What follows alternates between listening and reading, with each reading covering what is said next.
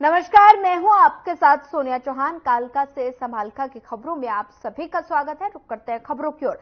करनाल के प्रेमनगर में आर्य समाज मंदिर की तरफ़ से कार्यक्रम का आयोजन किया गया, जिसमें सीएम नायब सिंह सैनी और साथ ही करनाल से बीजेपी लोकसभा प्रत्याशी मनोहर लाल ने शिरकत की और इस मौके पर सीएम नायब सैनी ने जनता से वोट की अपील भी की और साथ ही केंद्र और प्रदेश सरकार के कार्यों को गिनवाया और सीएम नायब सैनी ने कहा कि बीजेपी प्रत्याशी को जनता का पूरा सहयोग मिल रहा है और इस मौके पर सीएम सैनी विरोधियों पर निशाना साधने से भी नहीं चुके।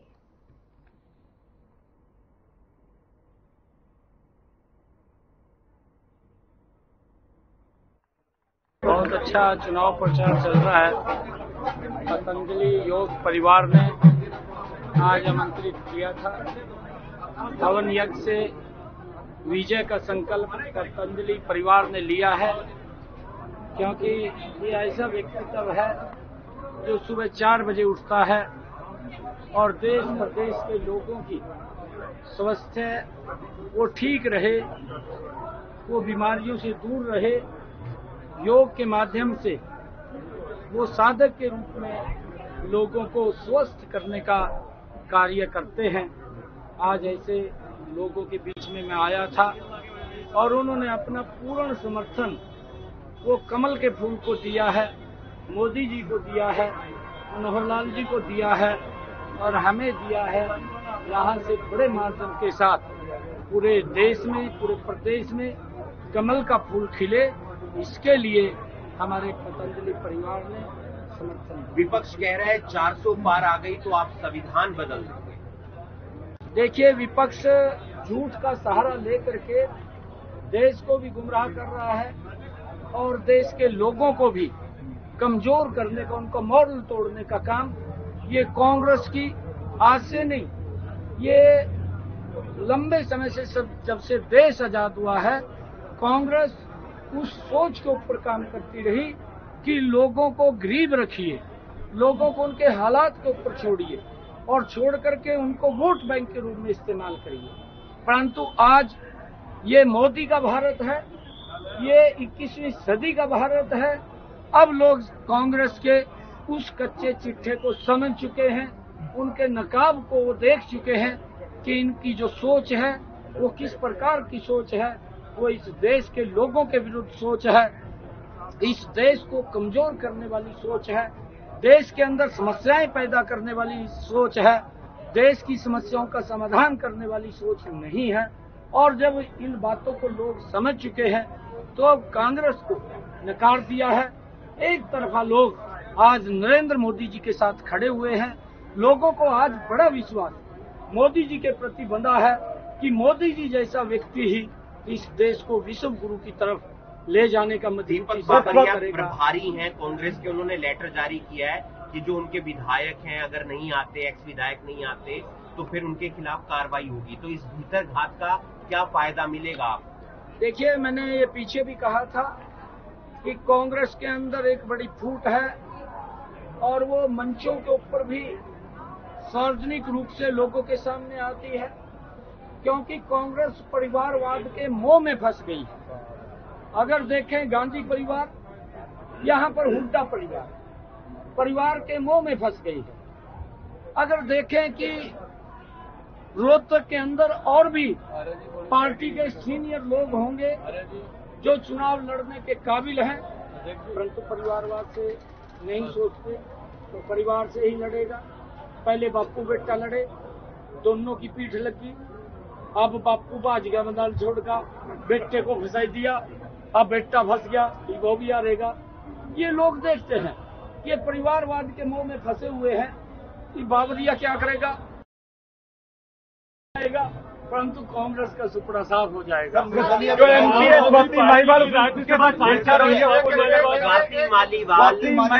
मालीवाल का जो इशू जेल में से जो फ्रस्ट्रेशन उसके अंदर हो रही थी भ्रष्टाचार को लेकर के वो जेल में गया था।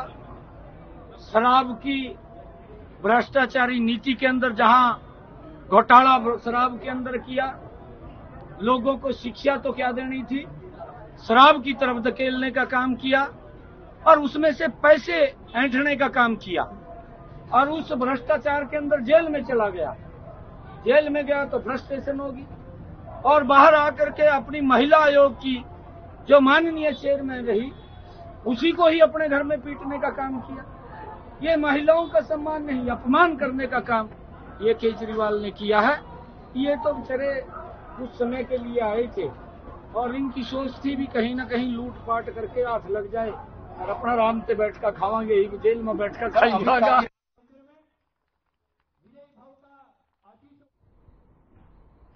करनाल के रामलीला मैदान में पाल गडरिया समाज की तरफ़ से राजनीतिक चेतना सम्मेलन का आयोजन किया गया, जिसमें हरियाणा के पूर्व सीएम और करनाल से लोकसभा प्रत्याशी मनोहर लाल ने शिरकत की और इस दौरान पूर्व सीएम मनोहर लाल ने जनता को संबोधित करते हुए कहा कि केंद्र और राज्य सरकार के कार्यों को उन्होंने गिनवाया और साथ ही लोगों से वोट की भी अपील की। साथ ही सीएम, पूर्व सीएम मनोहर लाल ने कहा कि जिस तरह अभी तक डबल इंजन की सरकार में कार्य हो रहे थे, वैसे ही आगे भी प्रदेश और जनता के लिए कार्य जारी रहेंगे।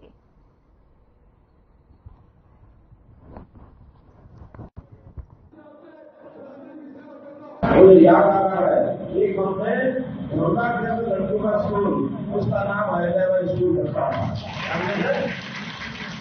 इसी प्रकार लोहड़ी गाँव में एक आईटीआई बनी है। उस आईटीआई का नाम भी हैदराबाद के नाम से रखा गया है।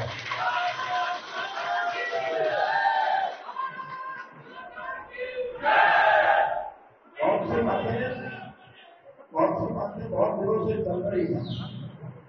हमारे एससी समाज को, ये आठ समाज को दर्जा मिले एससी का हमने तो पूर्व से किया था? लेकिन कोर्ट में ये फंसा था मैं आपको वादा करता हूँ कि कोर्ट में आपकी तरफ़ से पूरी मंत्रणा सरकार करेगी। करेगी क्योंकि अभी कोई बोला जाता है तो उसका उसका पौधा बनता है हमारा बनता है उपज बनता है बीज जो बोला गया है एक आयोजन ज़रूर होगा हम आपकी मदद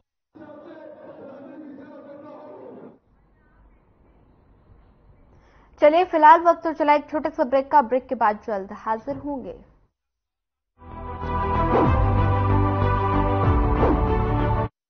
किसानों को जारी रहेगी छह हज़ार रूपए की सम्मान निधि।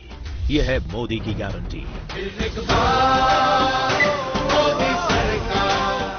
हमारे जमाने में बेटी जन्मे तो मातम होता था। पर हमारे समय तो हरियाणा में बेटी बचाने वाला है उसे पढ़ाने वाला है उसकी दिन रात रक्षा करने वाला है और तो और उसका ब्याह करवाने वाला तक बैठा है। नसीब वाली हो सब। तुम्हें वोट के बदले मोदी मिला। तारीफ़ ही करती रहोगी या जाकर वोट भी डालोगी मोदी को? जा रहे दादी जा रहे हैं। अरे मुझे भी तो ले चल। चल। कमल का बटन दबाएँ भाजपा को जिताएँ। Hey mom! Hey, look! I can download a song really fast. I can make dosas faster. Must be joking. Bus. Three easy steps. Mix with water, spread batter, fry. Uh, uh, गाना download हुआ? नहीं, पर तब तक मैं इडली बनाती हूँ हमने बनाया किड्स से भारत को ग्लोबल मैन्युफैक्चरिंग हब बनाएँगे, जिससे युवाओं को रोज़गार के नए अवसर मिलेंगे। ये है मोदी की गारंटी।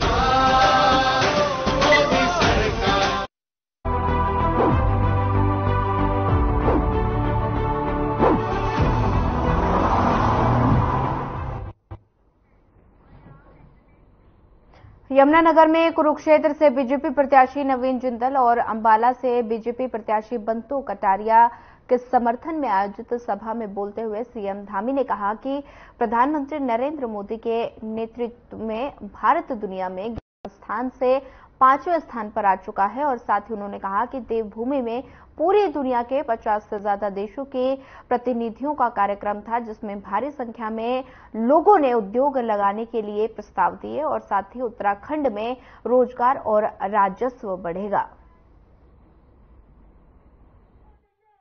अभी हमने इन्वेस्टर ग्लोबल समिट का आयोजन किया था।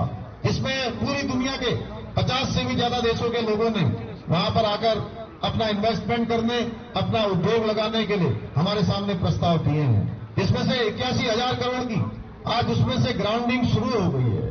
बड़े बड़े उद्योग लगने शुरू हो गए हैं। आने वाले समय में वहाँ के लोगों का रोज़गार बढ़ेगा, स्वरोजगार बढ़ेगा, राजस्व की वृद्धि होगी। हमारे नौजवान, युवाओं भाई बहनों को उत्तराखंड में ही वहाँ पर रोज़गार के अवसर भी उनके लिए निकलेंगे। भाइयों बहनों, ये किसी से छुपा हुआ नहीं है। किस प्रकार कांग्रेस और उस जैसे ही परिवारवाद की राजनीति करने वाले दलों ने 60 साल तक देश की जनता की गाड़ी कमाई को केवल और केवल लूटने का काम किया है।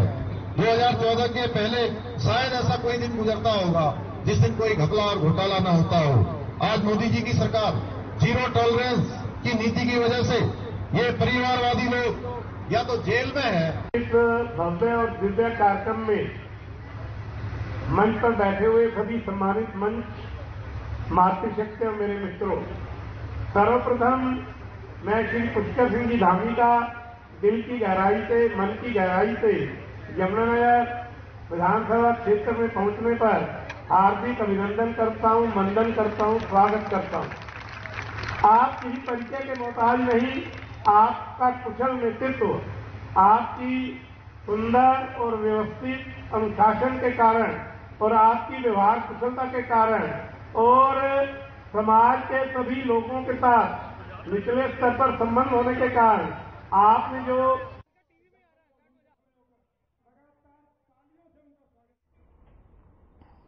18 मई को देश के प्रधानमंत्री नरेंद्र मोदी अंबाला में होने वाली एक विशाल रैली को संबोधित करेंगे और इस दौरान उनके साथ हरियाणा मुख्यमंत्री समेत कई मंत्री मौजूद रहेंगे और पीएम मोदी अंबाला शहर स्थित पुलिस लाइन ग्राउंड में पहुँचेंगे। रैली को लेकर तैयारियाँ युद्ध स्तर पर जारी हैं, जिसे लेकर राज्य मंत्री असीम गोयल, बीजेपी जिला अध्यक्ष मनदीप राणा ने रैली स्थल का दौरा करते हुए सभी व्यवस्थाओं का जायजा लिया और इस दौरान कार्यकर्ताओं की मीटिंग लेकर व्यवस्थाओं को दुरुस्त करने के भी निर्देश दिए गए।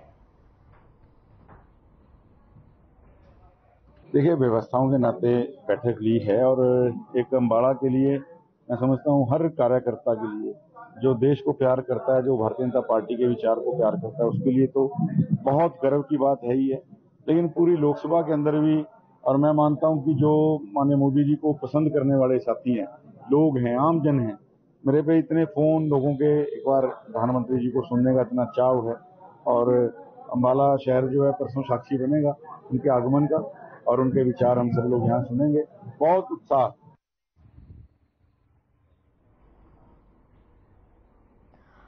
हरियाणा के राज्यसभा सांसद कार्तिकेय शर्मा बार एसोसिएशन के कार्यक्रम में पहुँचे और इस मौके पर अंबाला संसदीय क्षेत्र से बीजेपी प्रत्याशी बंतो कटारिया और यमुनानगर के विधायक घनश्याम दास अरोड़ा भी कार्यक्रम में पहुँचे और इस दौरान अपने संबोधन में राज्यसभा सांसद कार्तिकेय शर्मा ने कहा कि बीजेपी के पास प्रधानमंत्री नरेंद्र मोदी की गारंटी है और दस साल के कार्यकाल का लेखा जोखा है, लेकिन इंडिया गठबंधन के पास प्रधानमंत्री का चेहरा तक नहीं है और साथ ही उन्होंने कहा कि प्रधानमंत्री नरेंद्र मोदी तीसरी बार देश के प्रधानमंत्री बनेंगे।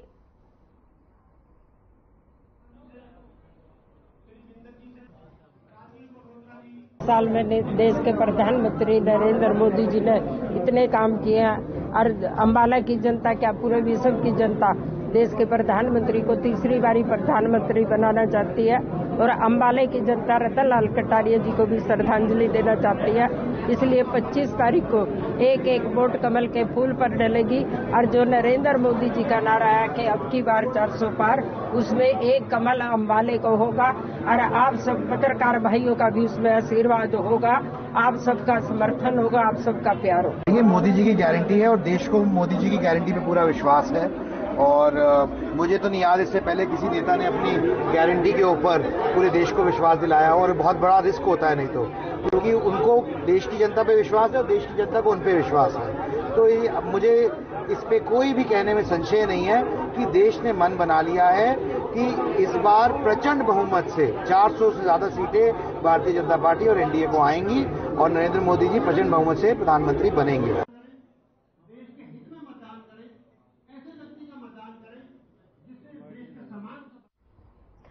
अगली खबर कुरुक्षेत्र से है, जहाँ पूर्व मुख्यमंत्री भूपेंद्र सिंह हुड्डा अनाज मंडी में आयोजित रैली में पहुँचे और इस दौरान उन्होंने कहा कि कुरुक्षेत्र लोकसभा का चुनाव हरियाणा विधानसभा का रास्ता निर्धारित करेगा। दस सालों में बेरोजगारी व्यापार में हरियाणा नंबर वन बना संविधान बचवाने के लिए गठबंधन का रास्ता चुना गया। वहीं इस रैली में पूर्व मुख्यमंत्री हुड्डा के साथ इंडिया गठबंधन उम्मीदवार सुशील गुप्ता, लाडवा विधायक मेवा सिंह, पूर्व मंत्री एवं वरिष्ठ कांग्रेसी नेता अशोक अरोड़ा और तमाम कांग्रेसी नेता और साथ ही आम आदमी पार्टी के नेता भी मौजूद रहे और भारी संख्या में उमड़े जनसैलाब से हुड्डा ने गठबंधन प्रत्याशी सुशील गुप्ता को भारी मतों से विजयी बनाने की अपील की। जो मैनिफेस्टो बना है, न्याय पत्र जो बना है, वो अशोक करोड़ा जी ने तफसील में आपको बताया। हर वर्ग के लिए, किसान के लिए, युवाओं के लिए, महिलाओं के लिए, गरीब आदमियों के लिए सारे प्रदान किए हैं। बता दिया, एक लाख जैसे अप्रेंटिसशिप बेरोजगारों के लिए है, एक लाख घर महिला के लिए साल के इस प्रकार से सारे बता दिए। इसके अलावा आज केंद्र सरकार की 30 लाख नौकरियाँ खाली हैं। तो राहुल गांधी ने कहा वो 30 लाख नौकरियाँ हम एक साल के अंदर भरेंगे लगाएँगे।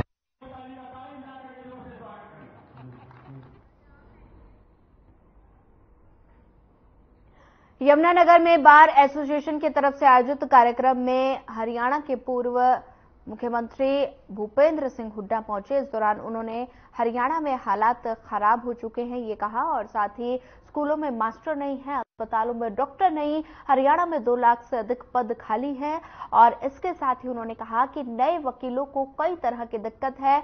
वकीलों की समस्याओं के समाधान के लिए कई योजनाएँ हमारी सरकार ने बनाई थी, जिसे वर्तमान सरकार ने समाप्त कर दिया है, और साथ ही वकीलों और डॉक्टर को कोई मकान किराए पर नहीं देता, इसलिए हमने वकीलों को मकान देने के लिए पॉलिसी बनाई थी। वहीं सीएम ने कहा, उन्होंने पूरे हरियाणा का दौरा किया और साथ ही हरियाणा में 36 बिरादरी के लोग उनके साथ हैं और पूरे प्रदेश में लहर कांग्रेस के पक्ष में चल रही है।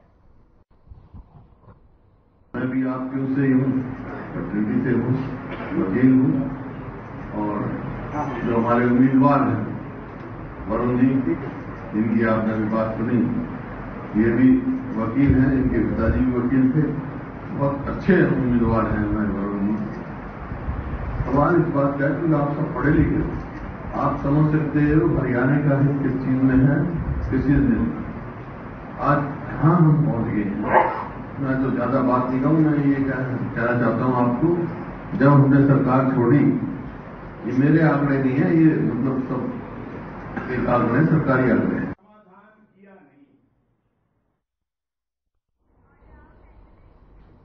चलिए फ़िलहाल वक्त तो चला एक छोटा सा ब्रेक का ब्रेक के बाद जल्द हाजिर होंगे।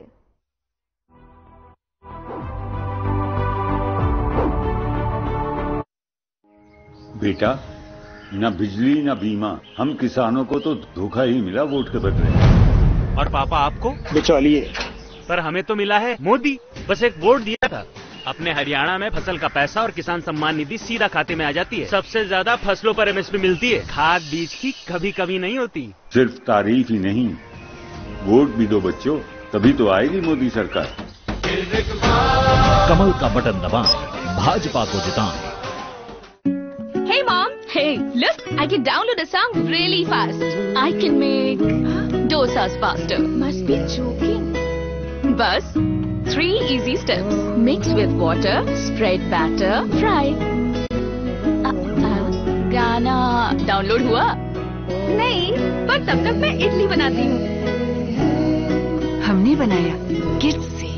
जारी रहेगी भ्रष्टाचार के खिलाफ ज़ीरो टॉलरेंस की नीति। ये है मोदी की गारंटी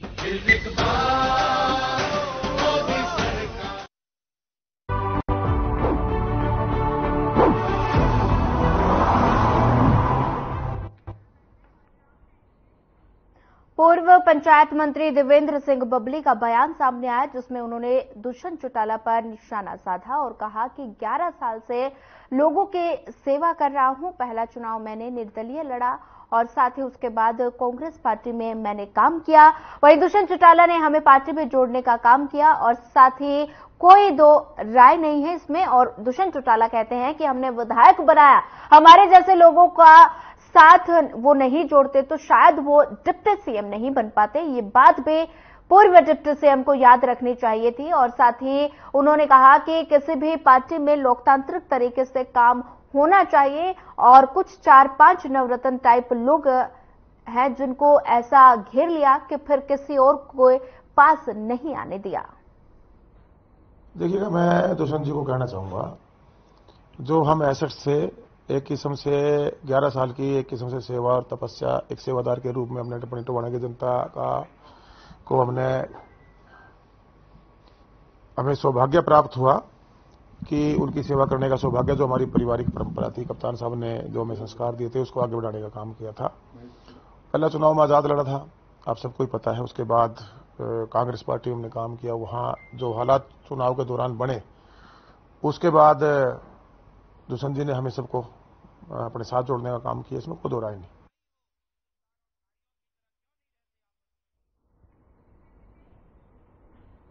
अगली खबर सोनीपत से है, जहाँ मुरथल रोड स्थित एक डेंटल क्लिनिक में एसी का कॉन्प्रेशर फटने से भीषण आग लग गई और साथ ही आग इतनी भयानक थी कि देखते ही देखते पूरा क्लिनिक जलकर राख हो गया। घटना की सूचना मिलते ही मौके पर दमकल विभाग के कर्मचारी पहुँचे और कड़ी मशक्कत के बाद आग पर काबू पा लिया गया।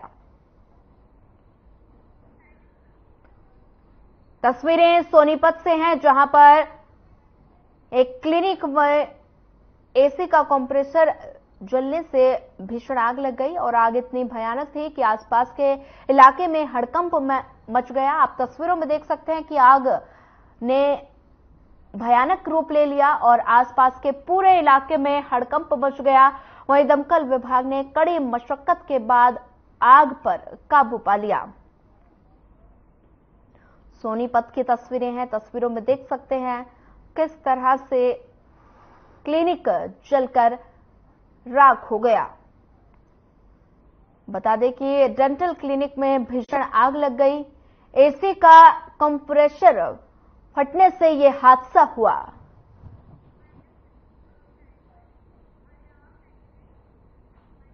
फ़िलहाल इस बुलेटिन में इतना ही। ज़्यादा खबरों के लिए बनी रहिए हमारे साथ। नमस्कार।